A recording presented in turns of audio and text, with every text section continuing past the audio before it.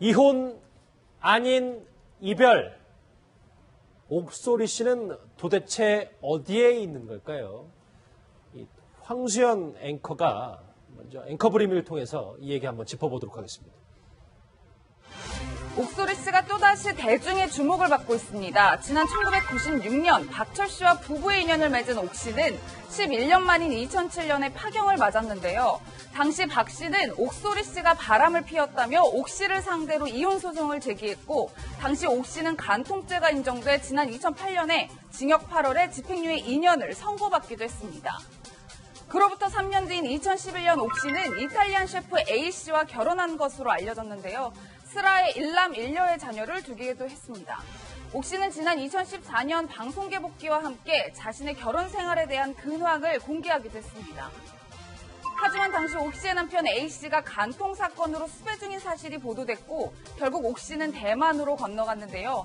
그러던 중 현재 대만에서 옥 씨와 A 씨가 양육권을 두고 재판 중이라는 보도가 나왔습니다. 이에 대해 A 씨는 옥소리 씨와 결혼한 적이 없다고 말해 현재 논란이 되고 있습니다. 네, 백성문 변호사와 함께 연어 씨 함께 더 짚어볼 분 나오셨습니다. 백현주 대중문화 전문기자 교수 나오셨습니다. 어서 오십시오. 안녕하세요.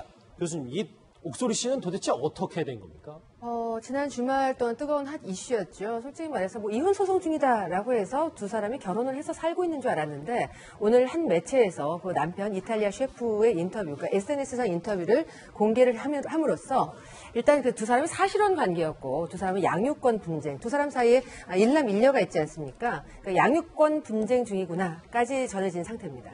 예, 그런데 지금 뭐 양육권 소송 네. 중이다라고 말씀하셨는데 지금은 아이들을 누가 키우고 있는 상황인가요? 그러니까 지금은 재판이 시작이 됐기 때문에 재판이 시작된 과정에서 한쪽의 아이를 그- 그냥 두게 되면 그 자체도 상대방 쪽에 이제 불리하게 작용할 여지가 있기 때문에 재판부에서 조정을 합니다.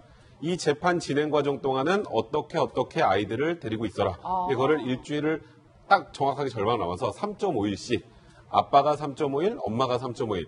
그래서 지금 뭐 지금은 아마 뭐 또 옥소리 씨가 이렇게 보고 있는 과정인 것 같은데 옥소리 씨가 다른 부분을 떠나서 이 양육권에 관련해서 굉장히 좀 아이들에 대한 사랑은 굉장히 커서 어. 양육권만큼은 꼭 본인이 갖고 싶다는 얘기를 하고 있는 상황입니다. 그리고 어쨌건 지금 이 이탈리안 셰프 그 옥소리 씨와 같이 살았던 아까 말씀하셨던 것처럼 사실혼 관계였던 거거든요. 아이들이 있었다면 이제 그분이 어쨌건 지금 다른 여자가 생겨서 간 거기 때문에 양육권은 지금으로 봐서 우리나라라면 옥소리 씨한테 갈 가능성이 더 높은 상황입니다. 그러니까 다시 한번 조금 정리를 해보자면 이혼이 아닌 이별이었다. 그러니까 백 교수님, 우리가 옥소리 씨가 결혼한 줄, 두 번째 결혼한 줄 잘못 알고 있었다 이렇게 정리하면 되는 거죠? 어떻게 보면 저희 사회 인식의 차이라고 봐야 될 것 같아요. 옥소리 씨는 결혼을 했다라고 생각을 할 수 있는 그런 상황이고 이탈리아 셰프 같은 경우에는 이탈리아 어떤 그런 관념상 같이 사는 것 정도로 생각한 게 아닌가 싶은데요.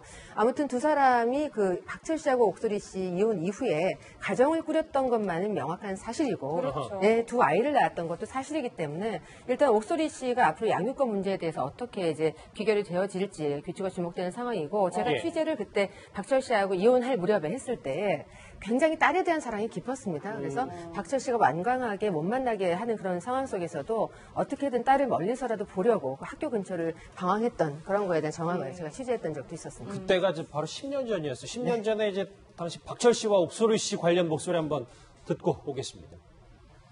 아이는 내가 키운다라고 얘기를 했고 세상에서 지, 지키고 싶은 거요? 아이죠. 네. 다행입니다.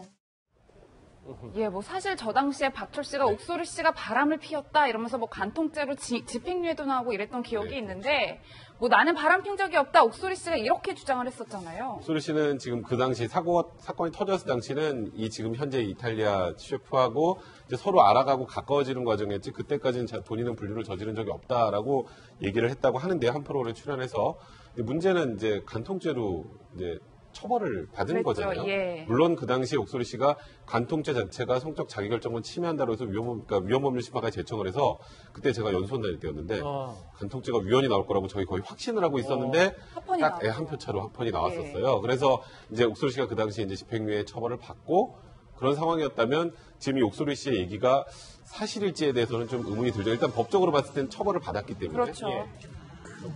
사실 이 박철 씨와는 이 10년 전에 그 이혼을 했지만 그렇죠. 제가 6년 전까지만 해도 박철 씨를 라디오에서 DJ로 만난 적, 들은 적이 있거든요. 근데 지금 박철 씨는 근황이 어떤가요? 우선 방송 근황은요 꾸준히 하고 있습니다. 라디오 어. 디제이 계속 하고 있고요. 청취자들하고 소통하고 있고 중요한 건 재혼을 했습니다. 이미 한 3년 전에 한 이- 어, 2013년 무렵인데요. 한국계 미국인 분하고 해- 어, 결혼을 했는데 따님을 굉장히 친엄마 이상으로 잘 키우고 있다 이런 근황을 전해드린 적이 있습니다. 아하, 일단 지금 이슈가 되고 있는 예전부터 좀 사건 사고 쪽으로 많이 이슈를 일으켰던 인물들 첫 번째 인물 옥소리 씨였다면 두 번째 인물 이 인물입니다. 동방신기 출신의 가수 박유천 씨, 그룹 JYP의 박유천 씨가 SNS 통해서 신결 고백했는데 또다시 논란만 일고 있습니다. 과거 목소리 한번 먼저 듣고 오겠습니다. 네, 많은 분들께 심려를 끼쳐서 정말 죄송하고요. 그 경찰 조사 성실히 받고 잘 나오겠습니다. 네, 실제로 박유천 씨가 SNS를 통해서 장문에서 사과글을 남겼는데 이는 즉 나는 이제 방송에 다시 복귀하겠다 뭐 이런 신호탄을 쏘아 올렸다라고 봐야 될까요? 그런 느낌의 내용으로 읽히다 보니 지금 굉장히 네티즌들이 또 시끌시끌합니다. 어. 비난의 목소리가 굉장히 높죠. 지금 박유천 씨 관련해서는 그때 당시 뭐 강간을 했다라고 뭐 성폭행을 했다라고 당했다라고 했던 여성분이 지금 또 무고죄 관련해서 국민참여재판 또 진행을 하고 있는 상황이고 아직 그것도 마무리되기 전이에요. 그렇죠. 근데 이제 내용이 다시 일어나 보고 싶어요. 그런데 다시 시작할 수 있는 건 제 의지와 상관이 없는 것 같아요. 죄송합니다. 여러분들께 인사드리는 날이 오길 바라겠습니다. 여러분께 인사드리는 날 다시 일어나 보고 싶다. 이게 결국은 본인이 원래 하던 가수건 배우건 다시 컴백하고 싶다라는 뉘앙스로 읽히기 때문에 아직은 자숙할 때가 아니냐라는 그런 의견이 좀 더 많은 상황입니다. 그런데 저게 지금 왜 SNS가 더 논란이 되냐면 네. 예비 신고가 한 5시간 뒤에 전혀 다른 글을 올려서 그게 문제가 되는 것 같아요. 박유천 씨는 다시 일어나고 싶다는 의지를 밝히면서 동시에 이 예비 신부 황 씨가 잘못한 거 진심으로 사과하고 평생 베풀면서 살겠다라고 해놓고서 몇 시간 뒤에 반전에 또 글을 올린 겁니다. 어. 신경 꺼달라. 남욕하면서 행복하냐? 미안할 필요 전혀 없었다. 이런 식의 글을 번복하면서 올리니까 너무 SNS 상으로 감정 기복에 대해서 노출을 하다 보니 오히려 박유천 씨에게 마이너스적인 요소로 작용하고 있는 게 아닌가 싶습니다. 아, 오히려 마이너스다. 지금 박유천 씨 관련된 법적 다툼은 어떻게 돼가고 있나요? 뭐 박유천 씨의 성폭행 혐의는 전부 다 이제 무혐의로 결론이 났고요. 그리고 이제 첫 번째 그 고소를 했던 그, 그 당시에 이제 굉장히 언론의 폭발력이 컸었죠. 근데 그 여성 같은 경우에는 뭐 좀 조직폭력배와도 관련이 있게 이제 돈을 요구한 정황까지 있어서 뭐 실형을 선고받은 상황이고요. 두 번째로 또 폭로를 했던 여성, 두 번째로 폭로를 했던 여성은 이번에 국민참여 재판을 신청했죠.